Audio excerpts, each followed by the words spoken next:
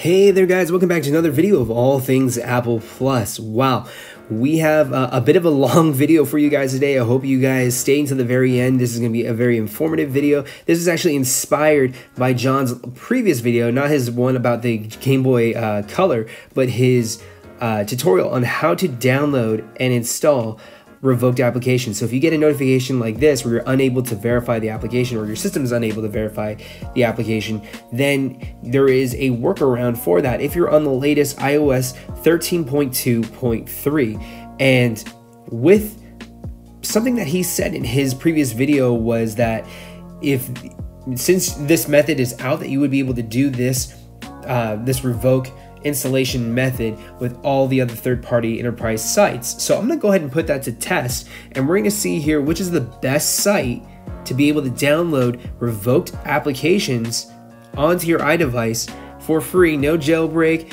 no check rating needed. This is just right off the bat, just I'm going to do some testing here. This isn't a jab at John or Tweakbox or you know um, AppValley or any of these different sites. All these sites I've already you know expressed how much they you know how much they mean to me or how much they're they're great to the community on my channel. So this is just for an information purposes. I want to definitely check out which is the best site to download your third-party applications for you know for free that are revoked. So we're going to go ahead and first and foremost we're going to be doing a lot, a lot of deleting web browsing history. So I'm going to first and foremost make sure that I have every single one of these favorited, bookmarked. That way I can go ahead and navigate to them pretty easily. Now, if you would excuse my voice, I am a little bit under the weather right now, so I'm really trying to push through this whole flu season. This 2019 has just sucked, and it, from what it looks like from everybody else out in the world, it's just been really crap year. Um, but leave a like if you had a great 2019. Now, on this video, or okay, so once now that we have all four uh, sites favorited or bookmarked, we're going to go ahead and set up our computer or set up my, uh, my iPad Pro. Now, this is an iPad Pro running iOS 13.2.3 and we're going to be downloading Delta. This is going to be our first, this is not going to be our, between Delta and GBA for iOS, I know Tweakbox doesn't have uh, Delta, but between the two, we are going to be downloading uh, Delta in the majority of the time for these four different sites. So between AppValley, Tweakbox, Ignition, and Operation iDroid's uh, site, we're going to be downloading GBA for iOS. Now, again, I'm on the iPad Pro running on iOS 13.2.3. We're going to be doing his method, the method that he was able to find through Sanders Tech. So I'll have links for everything in the description down below. So make sure that you guys do check them out. Also, do check out AppValley, Tweakbox, Ignition, Operation iDroid site, and it's just, uh, just they do so much for the community. So first and foremost, we're installing the application, getting back into it. We're gonna go and pause the application. We're gonna jam over into settings, navigate over into Safari, scroll all the way down until you see clear history and website data. We're gonna clear that. Cool. We're gonna back out. We're gonna go ahead and launch the application as it would, or resume the application as it's downloading. And then from there, we're gonna wait until it hits installing. Once it hits installing, then we're gonna pull down that bar, hit on airplane mode. Awesome. The application loads perfectly. Awesome. This is great. So from here, we can go ahead and relaunch and open up uh, cellular and Wi-Fi data. So from here, let's go ahead and scroll it up to general. From general, we're gonna go into profiles and device management. We're gonna look under enterprise applications to find GBA for our, or excuse me, Delta. We're gonna go ahead and trust. After we trust the application, I'm not gonna hit the verify app. We're gonna go ahead and just pause on that. I'm gonna go ahead and show you that if we are unable to verify the application, that is fine. Cool, that's the pop-up that we are looking for. The next step, we do need to open up five different web browsing pages. I know this is crazy, this sounds, and even when I first saw the tutorial on it, I was just like, this is this is insane. There's no way this is gonna work out, but it works. It really does work. So after opening up our five different website pages, I'm actually gonna go ahead and close them. So go ahead and long press on the multitasking page there, and then it will bring up the closing up five, or you can close up your five uh, web pages. Go ahead and scroll into uh, settings, go into Safari, go and navigate to clear history and website data, clear all that website and history data. Then we can go back into the application.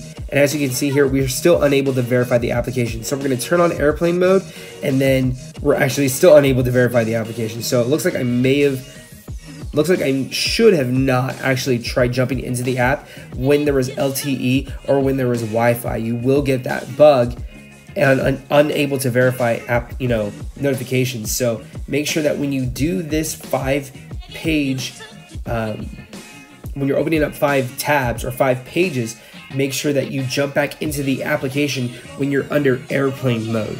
Once you do that, then the app should go ahead and load correctly and accordingly. So we're going to close out the applications, or close out the uh, the sites actually. Then we're going to go back into Safari. We're going to go ahead and clear the history and website data one last time. We're going to close out that, bring in airplane mode. And as you can see here, we're going to jump back into the application. Application runs perfectly. Awesome. Great. This is what we need. This is what we've been looking for. This is what each site needs to bring us. We need to be able to jump into the application. We need to not only download the application, but we also need to make sure that we can even run the application too. So, the next application, the, the next third party enterprise site that we're going to jump into is we're going to go into App Valley. Now, App Valley is a little bit trickier because now you're not downloading off of a website, you're downloading based off of an actual third party enterprise app. So you are downloading from the internet or from from, from another site, but it's you're not going straight from the Safari. So I'm curious to know what it's going to look or what the differences are going to be with that. So we're going to go ahead and install App Valley. And actually, you know what? I already do have an App Valley previously installed on my iDevice. So what I'm actually going to do here is I'm going to clear out both of the App Valleys that I was just trying to install. So as you can see here, nope, that's not that one. There's Tweakbox. Actually, let me go ahead and remove Tweakbox real fast for the sake of this video. We're also going to remove App Valley.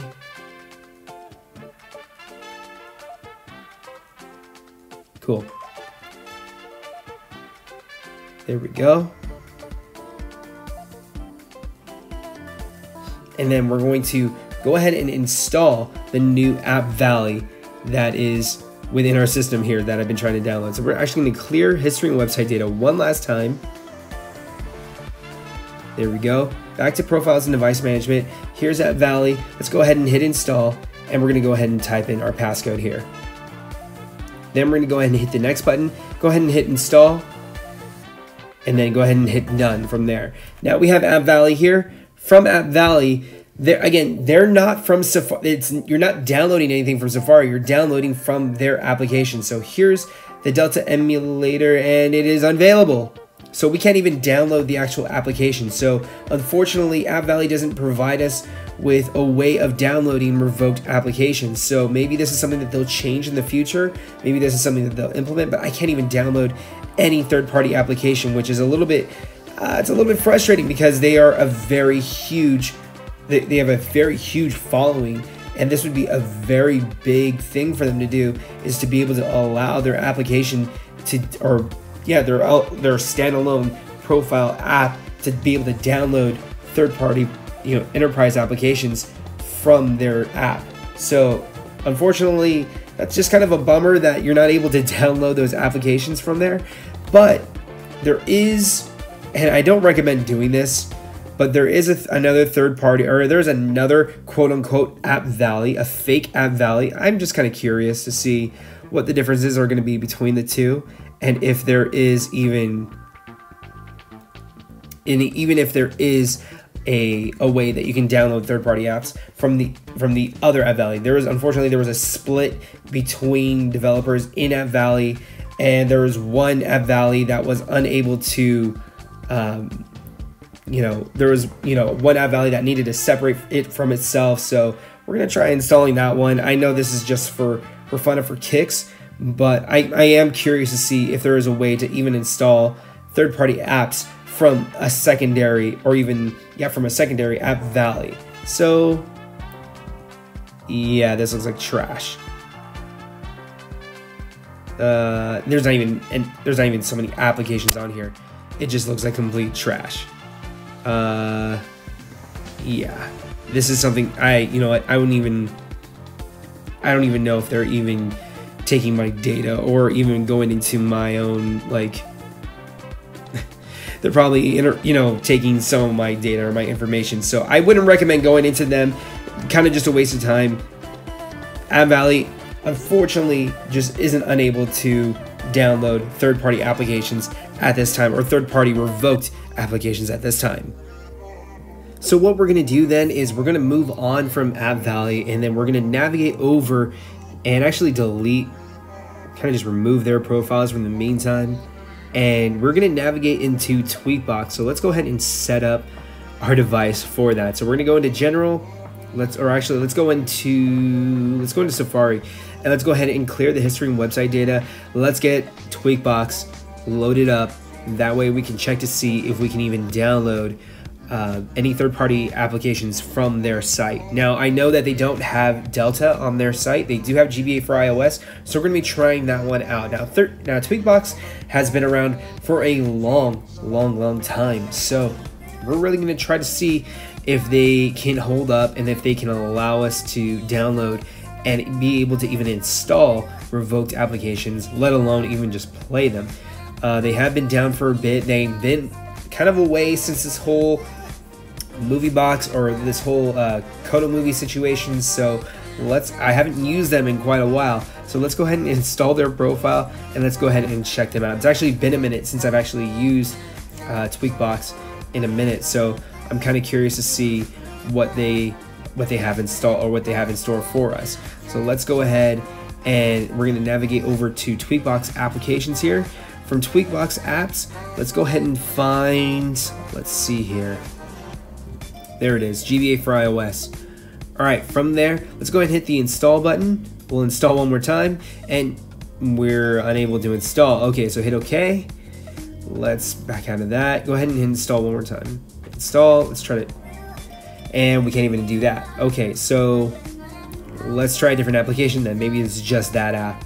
Let's try the uh, the Gearboy app. And we can't even install that. We can't even flip up the page just to be able to pause the actual application from downloading. So, and it, yeah, there's just, okay. Now we have two random Tweakbox applications. So we're gonna clear these out first and foremost. So that's uh, that's a little unfortunate to see that Tweakbox isn't unable to allow us to download these applications, or at least be able to even get the application to even start downloading. Let's try, uh, yeah, Happy Chick might be even better. Nope, can't even do that. Wow.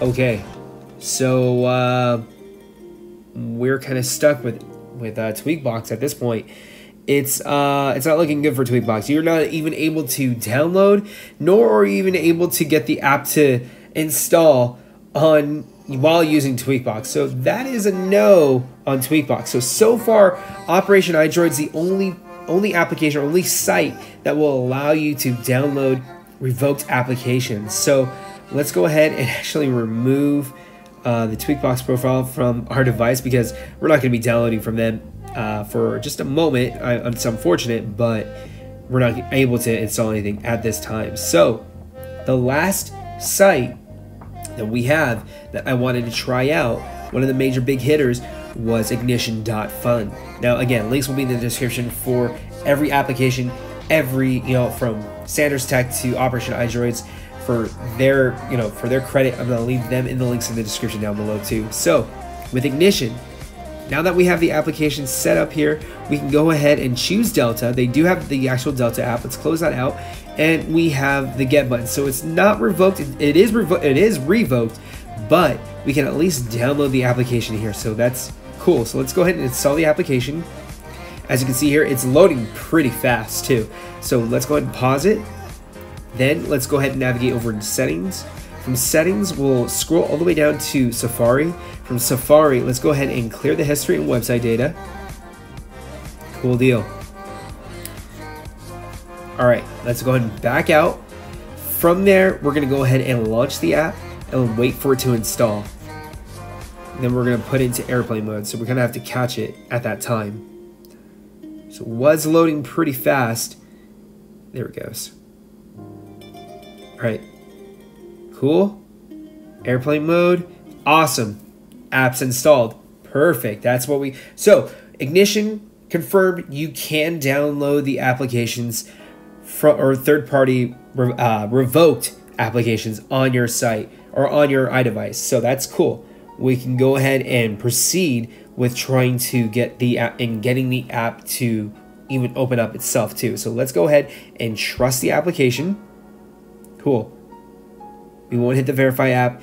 We're going to go back into Safari. We're going to open up five pages.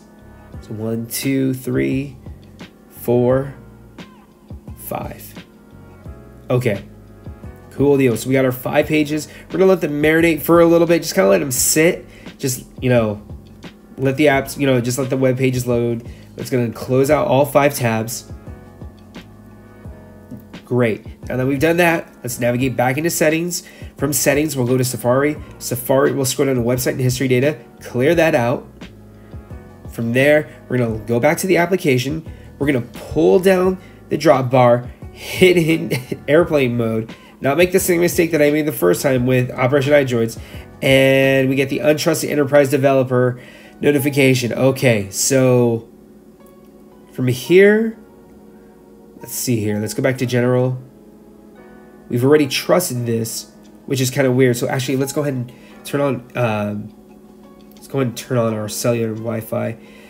Uh, we're a little bit stuck here because all we have is to verify the application. So let's hit verify. Maybe that might take. Go back to airplane mode. Nothing. Gosh. Okay that I might need to do some tweaking around and figure out how to get that to load. But it looks like it's not going to. Let's even try opening up five web pages too. There's four, five, and let them sit for a moment. Close them out. And then we're going to kick back, go into settings, Safari, clear history and website data. Cool. Let's go and back out and then throw in airplane mode as you would normally. Launch the app and still you get that untrusted enterprise developer notification. So it looks like for right now, it looks like the main, it looks like for the main hitter is going to be Operation iDroid's site. That is the best way in getting those emulators on your iDevices for free, even though that they are revoked at the moment. So I don't know how he's got his site set up versus these other third-party sites. It's completely beyond me, but he's doing something right on his end. So make sure that you guys go ahead and subscribe, like, follow him. If you guys did like this video, if you guys guys like this little test that we've done here, go ahead and like, comment, subscribe onto my channel. Let me know what works best for you when you're downloading your third-party applications, and I'll be catching you guys on the next one. Peace.